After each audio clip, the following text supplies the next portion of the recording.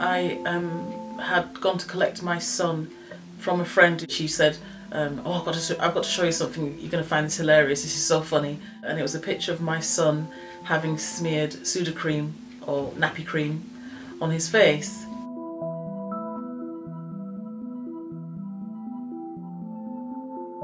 I was just tucking him in one night, and he asked me, um, "Mum, can you spray my face white?" I asked him, "Well, why is why do you want me to spray your face white?" And he said, "Well, I don't want to be brown." Jamico. Jamico. There's Jamico. It's only supposed to be a, a girl. No, Jamico is a. Boy. Rather than, you know, pull any kind of face or react in any kind of way, I said, "Well, why don't you want to be brown?" Um, Mummy's brown, Daddy's brown. You know, mainly all the people that you love, the close people, are all brown.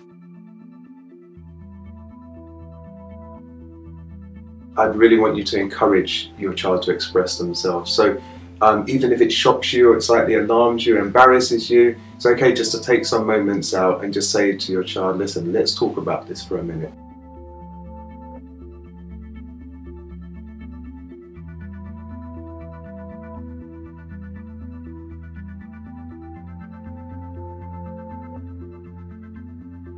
if there's ever a time when he wants to speak about, you know, becoming white, then he knows that I'm not going to overreact. I'm not going to blow up. I'm just going to sort of like, you know, sit down, eye level, and say, well, you know, what are you thinking, dude? You know.